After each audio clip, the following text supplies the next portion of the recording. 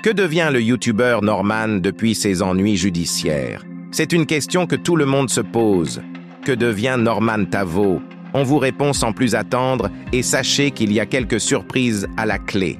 En 2022, le youtubeur Star aux 11 millions d'abonnés, qui a été parmi les premiers vidéastes francophones à avoir démocratisé les vidéos face caméra sur diverses thématiques, a été confronté à un grave scandale judiciaire après avoir été accusé de viol et de corruption de mineurs de la part de cette jeune femme.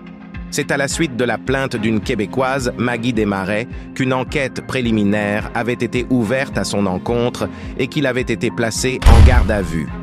Âgée de 16 ans à l'époque, la jeune femme l'avait notamment accusé de l'avoir manipulée et utilisée afin d'obtenir des photos et des vidéos à caractère sexuel. Une autre plaignante, Louise, avait-elle rencontré le vidéaste à l'âge de 17 ans lors d'une séance de dédicace à la FNAC de Nancy, avant d'entamer une relation par message pendant plusieurs mois? Une fois majeure, elle l'aurait alors rencontré à Paris et se serait senti obligé de lui prodiguer une... Mais alors, où en est cette enquête aujourd'hui?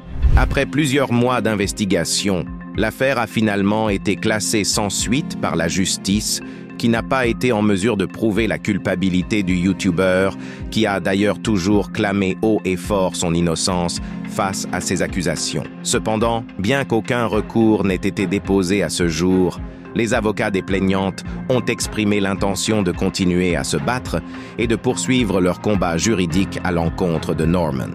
S'il est donc toujours présumé innocent, le vidéaste aura malgré tout vu sa carrière être totalement ruinée. Depuis ce scandale, il s'est retiré de la vie publique, sa collaboration avec le groupe Webedia a pris fin et sa chaîne YouTube a été démonétisée. Ce dernier a presque totalement disparu des radars.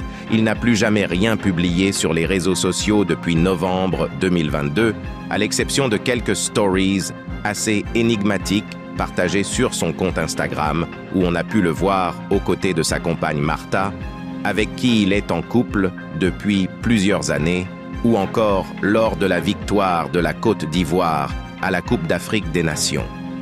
Lâché par une bonne partie de sa communauté, certaines rumeurs avancent qu'il aurait quitté la France de manière définitive avec sa copine pour s'exiler en Thaïlande, pays dans lequel il se serait engagé dans certaines activités commerciales.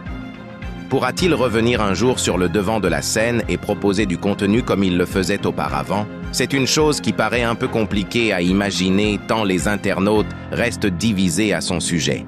Une probable et très triste fin de carrière pour l'un des youtubeurs les plus connus de l'Hexagone.